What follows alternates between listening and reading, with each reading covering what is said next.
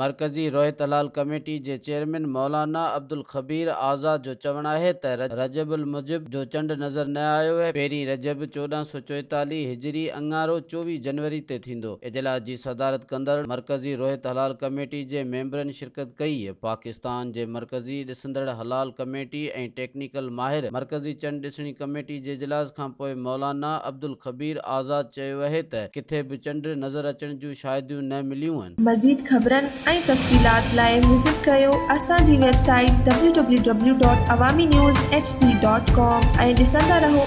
news H D